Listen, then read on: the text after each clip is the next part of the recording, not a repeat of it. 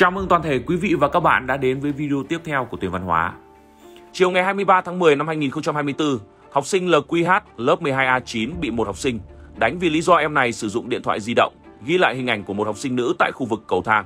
Tối cùng ngày, trên một số nhóm kín của mạng xã hội Telegram lan truyền nhiều hình ảnh nhạy cảm, trong đó có nội dung quay video học sinh nữ trong nhà vệ sinh. Ngày 24 tháng 10 năm 2024, trường đã phối hợp Công an huyện Bình Chánh, Công an thị trấn Tân Túc làm việc với học sinh, phụ huynh. Qua buổi làm việc, em QH đã xác nhận có hành vi dùng điện thoại để quay phim học sinh nữ khi chưa có sự đồng ý của học sinh này, không có liên quan đến các hình ảnh lan truyền trên mạng xã hội Telegram. Hiện tại trường vẫn đang tiếp tục phối hợp với cơ quan chức năng làm việc với phụ huynh và học sinh có liên quan đến sự việc trên.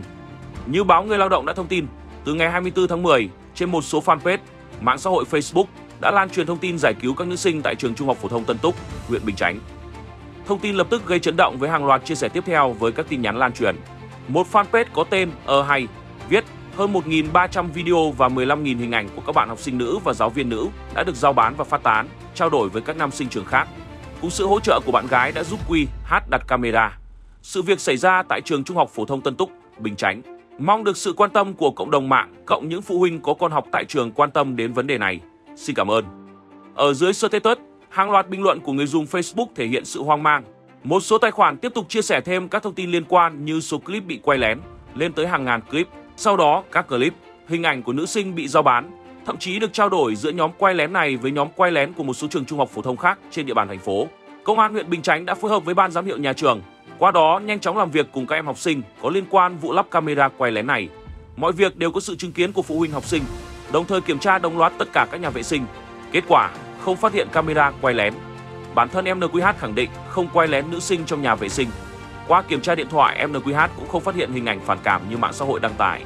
Vụ việc gây lo lắng cho phụ huynh, học sinh và xã hội. Từ sự việc trên lại tán phát nhiều tin đồn sai sự thật tiếp theo, như em NQH được chuyển sang trường lân cận học. Thông tin này hoàn toàn bịa đặt vì hiện tại em vẫn học tập tại trường Trung học phổ thông Tân Túc. Công an huyện Bình Chánh đã làm việc với ban giám hiệu nhà trường để triển khai đến giáo viên chủ nhiệm các lớp tổ chức sinh hoạt lớp để ổn định tâm lý của học sinh. Đồng thời, công an huyện đề nghị phụ huynh học sinh bình tĩnh, động viên học sinh yên tâm học tập, đăng tải thông tin thận trọng, có kiểm chứng khi sử dụng mạng xã hội. Tuy nhiên, chúng ta vẫn phải đề cao cảnh giác trước những vụ việc như thế này, bởi trong xã hội không thiếu những vụ lắp đặt camera quay lén, phục vụ những thành phần bệnh hoạn thích nhìn ngắm cơ thể phụ nữ mà không được phép. Camera hiện nay đang dần tinh vi hơn, nhưng chúng ta vẫn có thể thử quan sát bằng mắt thường để có thể dễ nhận diện hơn. Thế nên, điều đầu tiên cần làm khi bước vào các nhà nghỉ hay phòng khách sạn, bạn cần chú ý quan sát và kiểm tra cẩn thận các khu vực xung quanh để phát hiện có bị lắp camera ẩn để theo dõi hay không. Những nơi phổ biến để lắp camera theo dõi là trên thiết bị báo động khói, thiết bị lọc không khí, sách, hộp khăn giấy, các nội thất trang trí tường, gấu nhồi bông, móc quần áo, ổ cắm điện, giá đỡ máy sấy tóc. Những chỗ khuất kín dễ lắp camera như vỏ DVD, TV hộp TV kỹ thuật số, đồng hồ treo tường báo thức, chậu hoa, đèn bàn, rèm cửa, dưới mặt bàn, ghế, kệ tủ, ổ điện, bút mực bi, các vật dụng trang trí hay các thiết bị nhỏ. Hơn thế nữa, những khu vực ngoài phòng ngủ như cây lau nhà, lỗ trên cửa, mái nhà, chung cửa cũng có thể lắp camera theo dõi. Ngoài ra, đường dây, đèn hoặc ống kính đáng ngờ khác xung quanh cũng là một trong những điểm mà bạn cần quan tâm. Nếu có phát hiện thì nên rút phích cắm ngay lập tức, kiểm tra các gương trong phòng. Nếu trong phòng khách sạn, nhà nghỉ của bạn có quá nhiều kính hoặc cẩn thận hơn, bạn nên kiểm tra kính hoặc gương trong phòng. Vì camera có thể được lắp đặt phía sau mặt gương mà bạn không hề hay biết. Phát hiện camera trong gương bằng cách đặt ngón tay lên gương để kiểm tra, quan sát khoảng cách giữa ngón tay của bạn và gương. Nếu là gương thật thì sẽ có khoảng cách giữa ngón tay và hình ảnh. Còn nếu ngón tay của bạn và hình ảnh đầu ngón tay chạm vào nhau không có khoảng cách thì át hẳn tấm gương có vấn đề, có thể sẽ có camera quay lén trong gương. Tắt hết đèn để quan sát. Bạn có thể sử dụng nguyên lý hoạt động của camera an ninh vào ban đêm để làm cách để phát hiện camera ẩn khi bước vào bất cứ căn phòng nào. Vì hầu hết đèn led của camera ẩn thường sáng màu đỏ hoặc xanh lá cây. Trong điện kiện ánh sáng thấp nó sẽ nhấp nháy hoặc tỏa sáng đèn led mục đích là để ghi hình được rõ hơn vào ban đêm. Do đó bạn hãy tắt hết đèn trong phòng kể cả màn hình điện thoại và kéo hết rèm cửa phòng lại đảm bảo trong phòng càng tối càng tốt để bạn có thể phát hiện ra camera, nhìn trộm. Vậy nên hãy kiểm tra thật kỹ xem có bất kỳ đèn led nào sáng nhấp nháy hoặc phát sáng không rõ nguồn gốc. Những đèn như vậy có thể là các camera ẩn, hãy kiểm tra thật kỹ để xác minh nguồn gốc của chúng. Gọi điện thoại, camera ẩn khi hoạt động sẽ phát ra sóng điện tử, cho nên nếu bạn gọi điện thoại và thấy tín hiệu bị nhiễu hoặc có âm thanh rè rè khó chịu, nghĩa là khu vực đó đang bị gắn camera ẩn.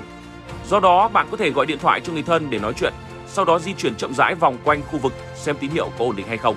Nếu tại vị trí nào tín hiệu trở nên bất thường thì hãy kiểm tra kỹ vị trí đó. Bật đèn flash. Đầu tiên bạn hãy tắt hết điện trong phòng, kéo rèm cửa nếu là ban ngày, sau đó bật đèn flash điện thoại và chiếu vào các vị trí nghi ngờ. Nếu có ánh sáng phản xạ lại từ vật thể nào đó, khả năng có thể đó là vị trí camera ẩn được gắn. Bật camera. Ngoài ra trong không gian tối bạn có thể thử mở camera, sau đó loa điện thoại chậm quanh phòng. Nếu xuất hiện điểm sáng màu đỏ hoặc xanh lá thì khu vực đó cũng có thể đã bị lắp camera quay lén hồng ngoại. Dùng remote điều khiển từ xa. Dùng remote điều khiển từ xa cũng là một trong những cách kiểm tra camera ẩn. Bạn có thể sử dụng ngay chính remote điều khiển từ xa của các thiết bị trong phòng như TV, máy lạnh để phát hiện ra camera ẩn bằng cách đưa remote vào các hốc tường hoặc những nơi đáng nghi ngờ có lắp đặt camera ẩn, rồi bấm bất kỳ nút nào trên điều khiển. Nếu tín hiệu đèn LED trên remote phát sáng thì có thể khu vực đó có lắp camera ẩn. Dùng các thiết bị chuyên dụng Ngoài những cách kiểm tra ở trên, bạn cũng có thể đầu tư hẳn thiết bị chuyên dụng để phát hiện ra camera quay lén khi vào nhà nghỉ, khách sạn. Thiết bị này rất phù hợp đối với những người hay đi công tác, di chuyển nhiều nơi, gia đình thường xuyên đi du lịch. Cách sử dụng các thiết bị này cũng rất đơn giản. Bạn chỉ cần làm theo hướng dẫn sử dụng sản phẩm là được. Thông thường bạn chỉ cần bật thiết bị lên và đi quét xung quanh phòng. Khi phát hiện tín hiệu của camera, nó sẽ kêu tiếng bíp hoặc tự động báo còi và đèn nháy để thông báo cho bạn biết.